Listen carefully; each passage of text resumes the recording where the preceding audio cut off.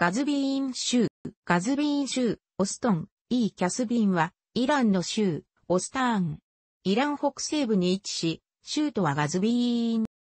面積は15,821キロ平方メートル。統計48度45分から50度50分、北緯35度37分から36度45分にかけて位置している。北にマーザンダラーン州、ギーラーン州、西にハマダーン州、ザンジャーン州、南にマルキャズィー州、東にアルボルズ州と境を接する。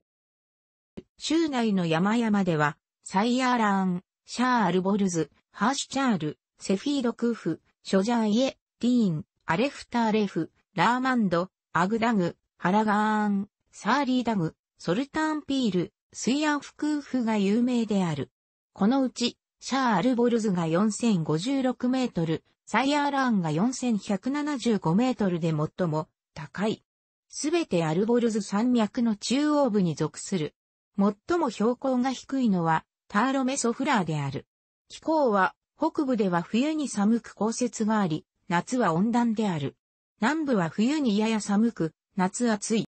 人口は2003年現在100万強。62%が都市に住み、38%が農村で暮らしている。男女比は男50.7%に対し、女49.3%。識字率は82%強で、全国第7位である。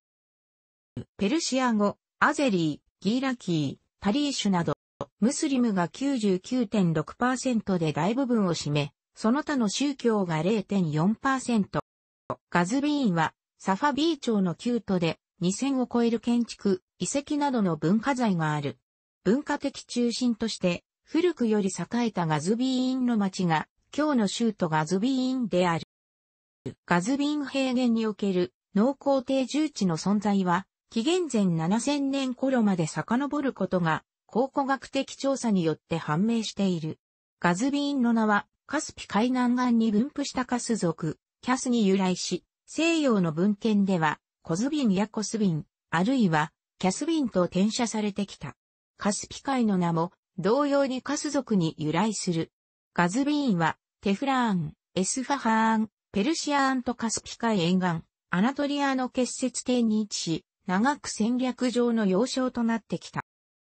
ガズビーンはイラン史を揺り動かす震源であったと言ってもよい。イスラーム初期にはアラブ軍の拠点となった。13世紀にはチンギス・ハーンによる破壊を受けた。サファビー朝は1548年以降、1598年にエスファハーンに遷都するまでガズビーンを首都とした。ガージャール朝以降、ガズビーンはテフラン周辺にあって、政府によるイラン統治の最重要拠点であった。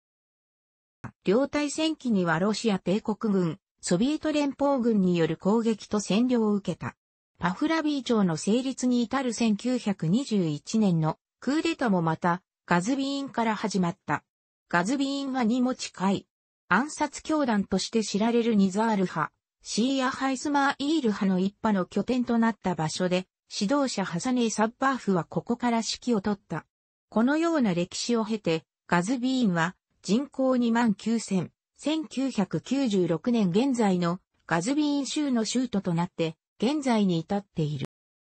ガズビーン州は4郡、シャフレスターン、18地域行政区、バフシュ、20市、シャフル、44行政村域、デヘスターン、1543村、デフを要する。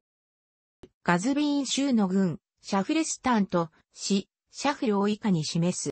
ガズビーン州の高地は1万3000キロ平方メートル、イラン層高地の12%を占める。多数のガナートや深い井戸、ターレガーン及びジアーラーンのサングバーンダムからの運河によって灌漑されている。主な農産品は、ブドウ、ヘーゼルナッツ、ピスタチオ、アーモンド、クルミ、オリーブ、リンゴ、小麦、天才、ザクロ、イチジク、その他の穀物である。畜産、養鶏、漁業も州内各地で行われている。ガズビーン州はテフラーンとタブリーズを結ぶ鉄道、高速道路の経由点にあり、パフラビアサ以来、ガズビーン州はその高立地により、イランにおける産業発展の機種の役割を果たしている。ガズビーン州は今日では綿織物、絹織物、ビロードなどの織物貿易の中心地で、比較も扱う。ガズビーンには、イラン最大の発電所の一つ、シャヒードラジャーイ発電所があり、イランの電力の7%を供給している。ガズビーンには最も古いもので9000年前に、遡る複数の考古学遺跡がある。また23のニザール派などの城塞跡が周辺に残る。ガズビーン市内には、サーサーン・アサヨの遺跡の一つ、メームーン・ガルエがある。ガズビーンが首都となったサハビー・アサヨから残る建築は多くはない。その中で最も有名なのは、ガズビーン中心部のアリーカプ邸宅で、今日では博物館となっている。イスラーム、特にスーフィズム、ハディース学、法学、フィクフ、哲学の流星により、ガズビーンには多くのモスク、マドラサ、イスラーム学院が建てられた。その中でも有名なものを以下に示す。ガズビーンには19世紀末から20世紀初にかけてのロシア人の建築が3つ残っている。現在の視聴者、以前はバレエ劇場、貯水施設、正教会である。教会にはロシア人が葬られている。